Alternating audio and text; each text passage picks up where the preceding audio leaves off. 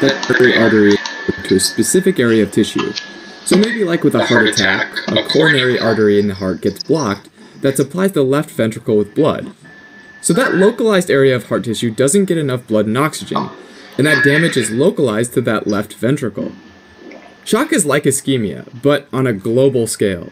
In other words, it's a whole body circulatory failure, where blood flow to tissues is dangerously low, leading to cellular injury, possibly damaging multiple organs, and even leading to multiple organ failure if not treated immediately. Okay, so with shock, the body's tissues aren't getting enough oxygen via the blood, right? Normally, blood perfuses through tissue and delivers oxygen because there's enough pressure in the circulatory system to push it through. So, blood pressure is a major determinant for the amount of blood perfusing through tissues. Now, blood pressure is determined by two components the resistance to blood flow in the blood vessels, things like vessel length, blood viscosity, and vessel diameter, and the cardiac output, which is the volume of blood pumped by the heart through the body per minute. And you can break that into heart rate, the number of beats per minute, times stroke volume, the amount pumped out each beat. Going even further, the stroke volume is found by taking the total volume of blood left over after contraction, the end systolic volume, and subtracting it from the total volume in the heart after filling, the end diastolic volume. Alright, now keeping all those in mind, shock can be caused by a whole bunch of different things, but we can categorize the different types of shock into three main categories, along with some subcategories here and there. The first category is called hypovolemic shock. Hypo means low, vol refers to volume, and emia refers to the blood. So hypovolemic shock is shock induced by a low fluid volume of blood.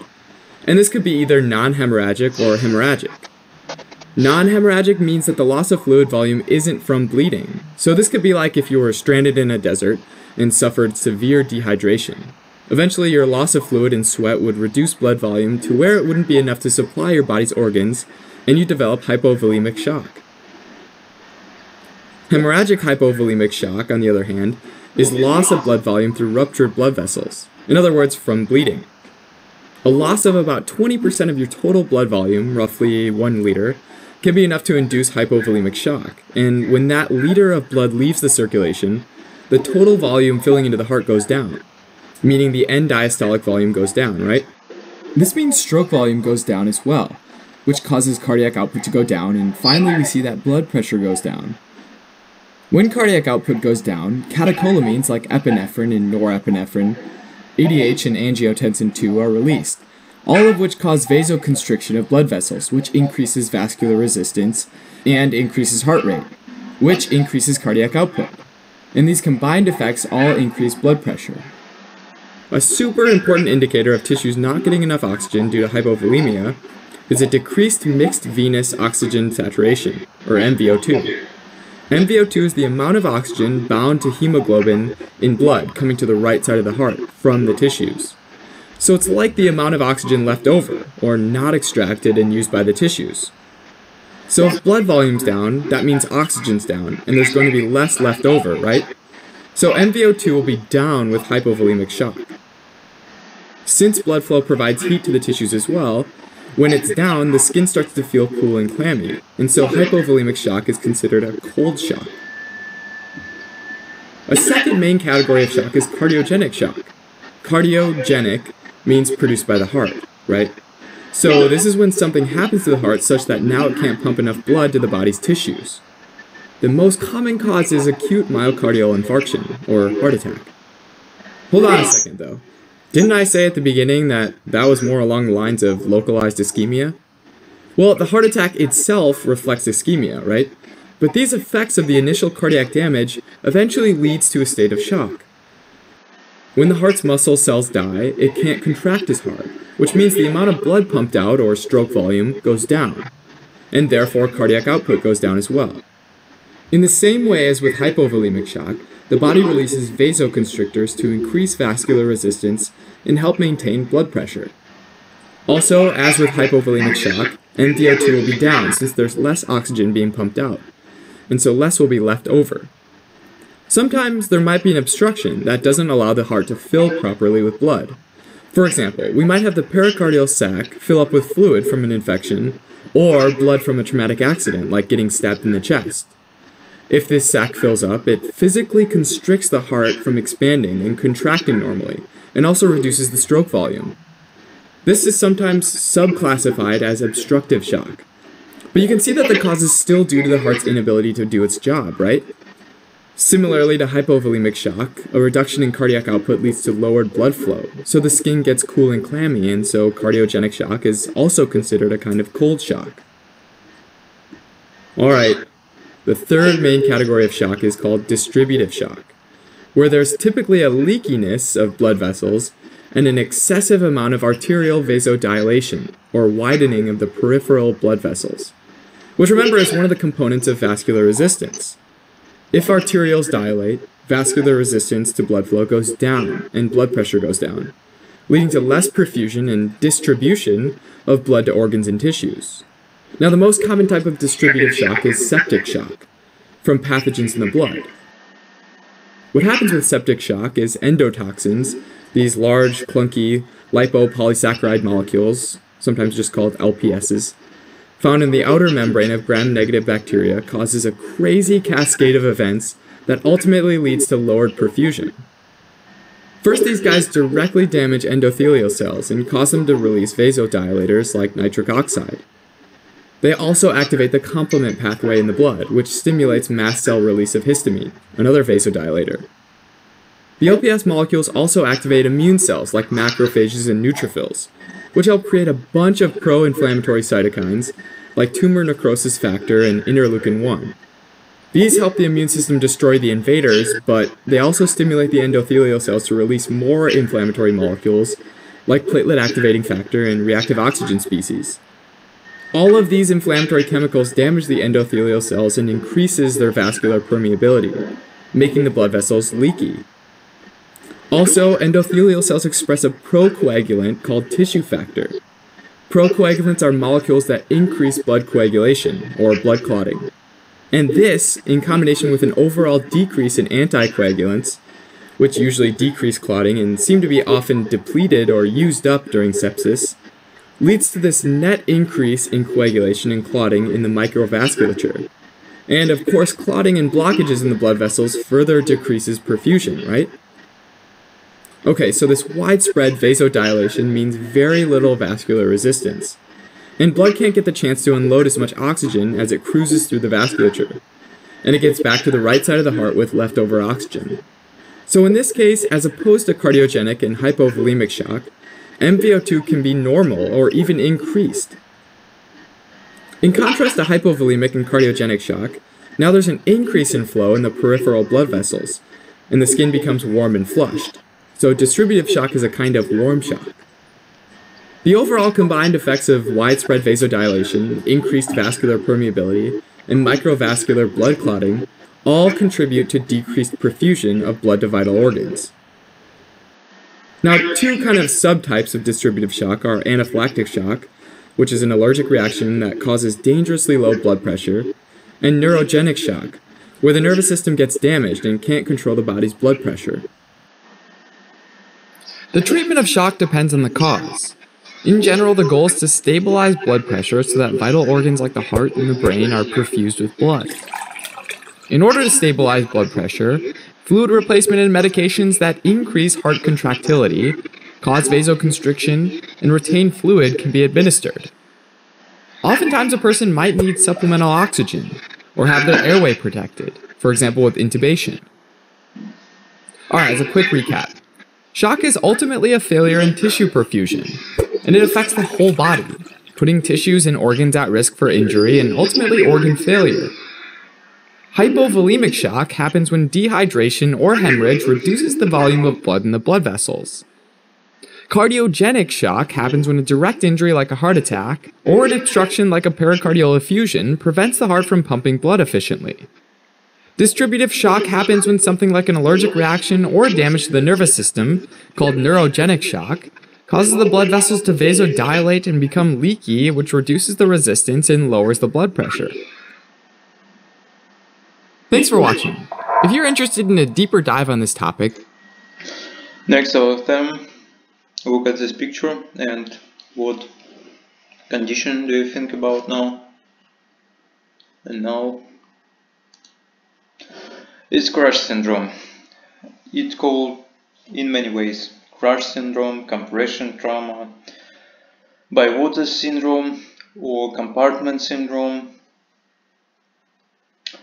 resulting from a prolonged violation of blood supply, ischemia, or compressed soft tissues, toxins characterizing addition of two local systemic pathological changes in the form of hyperkalemia and renal failure.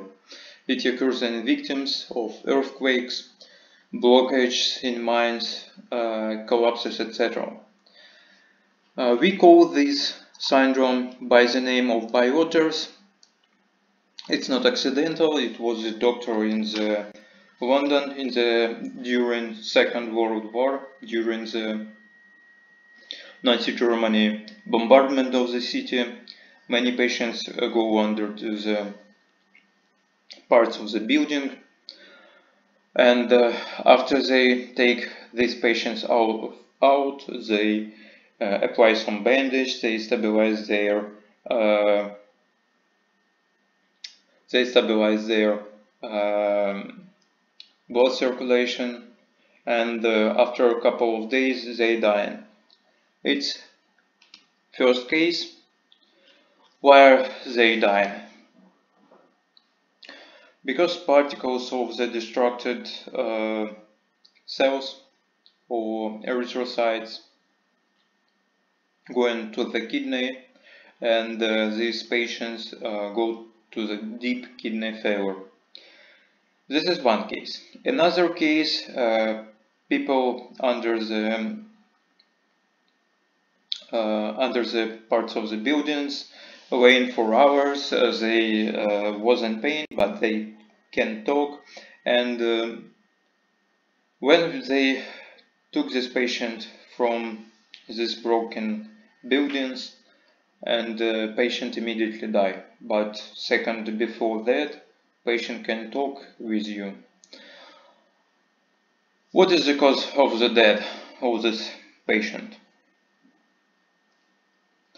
It's hyperkalemia because if we destroy the muscles, uh, we have many potassium into the muscles and when they go to the bloodstream they go to the heart and they stop the heart during uh, due to their electroly electrolytic activity. We have four different uh, stages of severity. It's light form, compression of the limb segment for 4 hours, medium, compression of entire limb for 6 hours, severe form, compression of the limb for 7 or 8 hours, and extremely severe form, it's both limbs more than 6 hours. Before removing the victim from the rubble, it is necessary to evaluate the level of consciousness, evaluate ex uh, external respiration and oxygenation with deep depression of consciousness, uh, deep depression of consciousness, it means less than 11 points of Glasgow coma scale. Assess the presence of circulatory insufficiency. If there are signs of circulatory arrest, start cardiopulmonary resurrection. Uh, you must give, uh, sorry I didn't translate this page. You must give uh, some painkillers to this uh, patient. It can be narcotic uh, analgesics like morphine, hydrochloride or uh, non-narcotic um, analgesics like ketoprofen or ketamine. Oh, sorry, like ketoprofen. Provide vascular access. You must give intravenous line, uh, bore needle, maybe even two on the different hands Start conducting infusion therapy to correct hypovolemia. Um, you must dilute, dilute the blood and you must dilute the um, complications of hyperkalemia and acidosis. It is advisable to carry out infusion therapy with sodium containing crystalloids. Directly during extraction, the presence of at least two rescuers is desirable. one of which frees the limb from compression starting from the center to the periphery. The other simultaneously in the same direction binds the limb with an elastic bandage, moderately squeezing soft tissues, which significantly reduce the flow of venous blood and prevents the development of tonsillar shock. After complete extraction of the ruins carried out in the immobilization of the injured limb as in trauma, the immobilized limb is covered with ice. In the presence of wounds and other violations of the integrity of the skin, carry out their mechanical cleaning and apply dressing with antiseptic uh, by the water hexadine or povidone immediate medical evacuation of the patient to a multi-specialty hospital that has an extracorporeal detoxification service with the, within the golden hour rule. Transportation of the victim to the hospital is carried out lying on a stretcher, symptomatic continued infusion, analgesic if indicated, and sedative if indicated therapy rule. Golden hour, it means uh, we must uh, take our patient to the hospital during uh, one hour. And you must remember, I place bene here, when you uh, try to substitute some volume, you should not use the uh, solution which have potassium uh, as one of their component. And if you see potassium and people have hyperkalemia hyperkalemia or high potassium and if you add some potassium with fluid you can kill this patient. And I want to show you another two videos which help you to which help you understand this condition. Learning medicine Learning medicine is hard. Create a personalized study plan with exclusive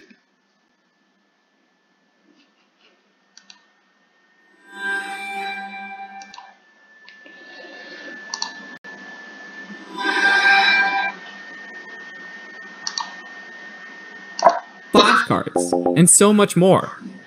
Try it free today. With compartment syndrome, compartment refers to separate sections of the body that contain muscles, nerves, and blood vessels surrounded by a layer of fibrous connective tissue.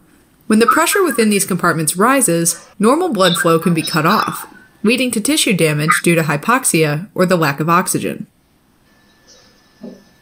Compartment syndrome typically happens in the limbs, usually in the lower leg or the forearm. Now, if we remove the skin and then we remove the fat from the lower leg, we would uncover the fascia. Fascia surrounds the muscles, keeping them tightly together while they contract to move the limb, and it also helps attach these muscles to the bones. Now, if we look at a cross section of the lower leg, we can see that the fascia sends intermuscular septa that, together with the interosseous membrane between the tibia and fibula, divide the lower leg into four compartments. The anterior, lateral, deep posterior, and superficial posterior compartments all contain their own muscles and blood vessels. For example, the anterior compartment holds the muscles that perform dorsiflexion of the foot and also aid in its inversion and eversion. The deep peroneal nerve that innervates them and its blood supply come from the anterior tibial artery and veins. Since the fascia is not elastic, it can't stretch much. Therefore, any increase of the cellular and extracellular volume, or a decrease of the volume capacity, like with some external compression, will lead to the increase of the pressure inside the compartment. This will compress the structures within, and the first ones to feel the effect of compression are the veins, because the pressure inside their lumen is normally low. As the pressure increases, the arteries will become compressed next, and this obstructs the normal blood flow. This cuts off the oxygen supply and hypoxia develops, which causes cells to start releasing substances like histamine and nitric oxide. These substances cause capillaries to become leaky, so fluid leaks out, causing extracellular edema that further increases intercompartment pressure. Okay, let's look at the muscle cells. Hypoxia prevent their mitochondria from producing adenosine triphosphate, or ATP, which is the cell's main source of energy. Inside the cell membrane is a sodium potassium pump that needs ATP in order to pump sodium out of the cell and potassium inside. So without ATP, there's an increase in intracellular sodium levels, which cause water to move into the cells, causing intracellular edema. If hypoxia lasts too long, intracellular edema can lead to cell membrane rupture, causing proteins to leak out into the extracellular space.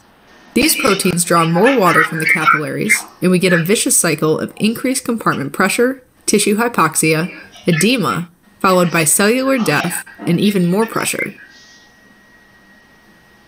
The most common cause of compartment syndrome is bleeding inside the compartment. This typically occurs with long bone fractures, like the tibia or the forearm bones, in penetrating wounds or surgical procedures that injure blood vessels. Other causes are swelling of the tissue after severe burns, intravenous drug injection, repetitive use of the injured muscles, or a vigorous muscle contraction like in tetany or seizures. Any limb compression, like from a crush injury or from an inappropriately placed cast, can also lead to compartment syndrome. Another potential cause could be reperfusion injury. This occurs with the reestablishment of normal blood flow to hypoxic cells. These cells stop producing proteins, like antioxidants, so providing them with oxygen again can actually lead to the formation of toxic reactive oxygen species that they can't get rid of. Signs and symptoms of compartment syndrome can be remembered as the six P's, which are pain, paresthesia, pulselessness, pallor, poikilothermia, and paralysis. The most common is pain, which is usually described as sharp and deep, and worsens with passive stretching of the affected muscles. Pain is followed by paresthesia, which is an abnormal sensation like feeling of pins and needles or numbness that can even progress to anesthesia or loss of sensation.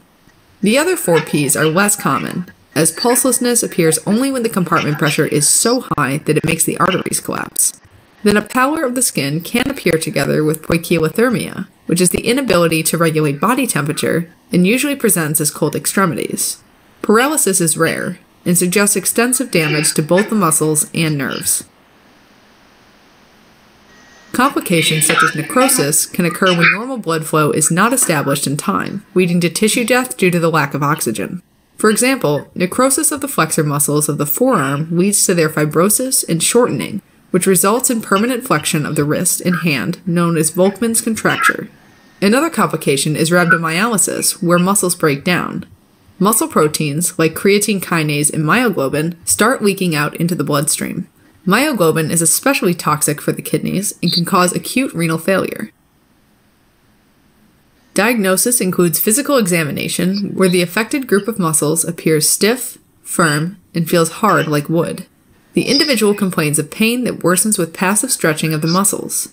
The best diagnostic tools are the intracompartmental pressure monitors that can be inserted directly inside the compartment.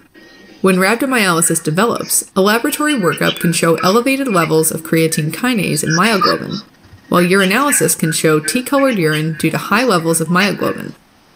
Imaging techniques like radiography, CT, MRI, and ultrasound can help locate bone, muscle, and blood vessel injuries. Treatment is surgical and involves a procedure called fasciotomy, where the fascia is cut open, relieving the pressure and re-establishing normal blood flow. Fascia can be left open for a few days until the cause of increased pressure is treated. When the compartment syndrome is caused by some external factors, like an inappropriate cast, its removal can result in spontaneous recovery and the surgery may not be needed. Alright, as a quick recap.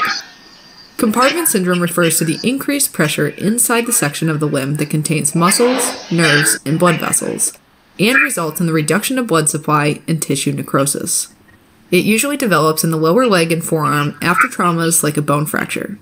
If not treated in time, it can lead to permanent muscle and nerve damage. Thanks for watching. If you're interested in a deeper dive on this topic, and another one video.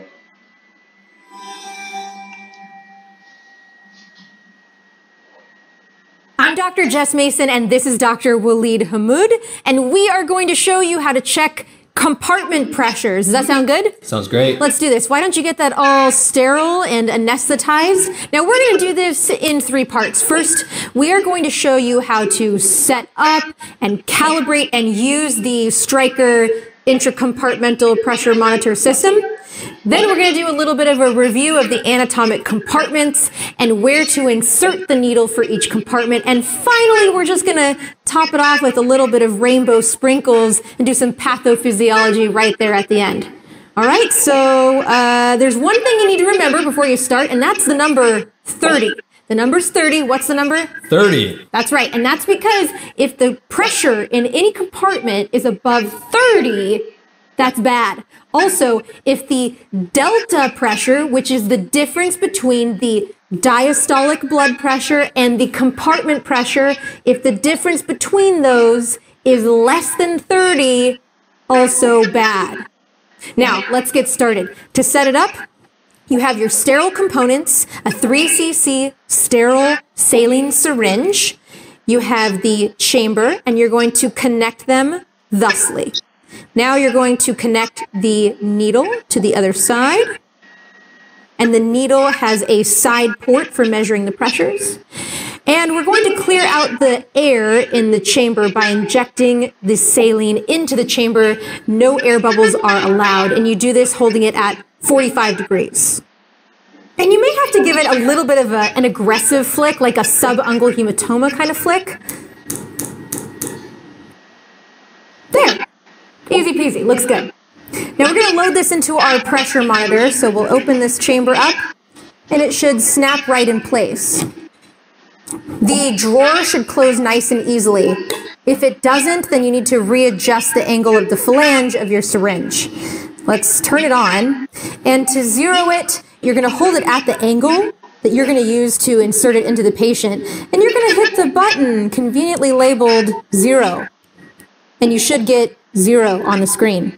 Now we're ready to check our compartment pressure. So put on a fresh sterile glove, repalpate your landmarks, and go ahead and insert it into the compartment. You might feel a pop as you go through the fascia. Inject about 0.3 ml of saline, and now it should read your compartment pressure. You know you're in the right place because if you squeeze that compartment, you'll get a rise in the pressure. The pressure is over 30, so this is consistent with compartment syndrome, and I think he's going to need a fasciotomy. I'm sorry, sir. Well, how about now we review the anatomic compartments? The lower leg has four compartments that Dr. Hamoud has volunteered to help us demonstrate. For all of the compartments, you're going to go at the imaginary cross-sectional line about one-third the way down the tibia. For the anterior compartment, palpate the tibia and go one centimeter laterally. Insert the needle one to three centimeters deep, and the pressure should rise with plantar flexion of the foot.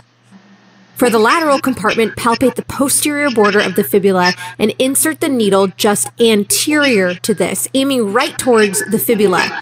Go about one centimeter deep, and the pressure should rise with inversion of the foot. Aim for the deep posterior compartment by grabbing the medial border of the tibia on one side and the lateral border of the fibula on the other side. Insert the needle medially, aiming towards the posterior fibula and go about two to four centimeters in. The pressure should rise with extension of the toes. And finally, the superficial posterior compartment. Go 3 to 5 centimeters off midline and insert the needle 2 to 4 centimeters deep. The pressure will rise with dorsiflexion of the foot. The forearm has two main compartments. Okay, arguably, maybe more, but two that we're going to focus on, the common ones. And again, for both of these, you're going about one third the way down the forearm. For the volar compartment, position the patient like they're doing an arm curl, then have them oppose their thumb and small finger and flex against resistance. Track that palmaris longus tendon up and insert the needle just medial to this point, aiming towards the ulna. Go one to two centimeters deep, and the pressure rises with extension of the wrist. To find the dorsal compartment, have the patient palm down and palpate the ulna. Go one centimeter towards the radius and insert the needle one to two centimeters deep. The pressure rises with flexion at the wrist. Did you get all that? I know it was a lot and we went kind of fast, so we're going to do a little bit of a review of the clinical findings that you gotta know for compartment syndrome. And remember, there are five P's. The first one is pain out of proportion. Then we've got paresthesia, we've got pallor, paresis, and pulse deficit. But the most important one, and the one you're going to remember, is pain out of proportion because that's the one you're usually going to see first before the other ones happen. The other thing that you got to remember is the number 30. That's 30 millimeters of mercury. A compartment pressure above 30 is very concerning. Or if that delta pressure narrows down so it's less than 30, then that's also really bad. Okay, we got this, right? We got it? Now you know what to do when you're under pressure. So, thank you for your attention. I wish you a good luck. Mm, Goodbye.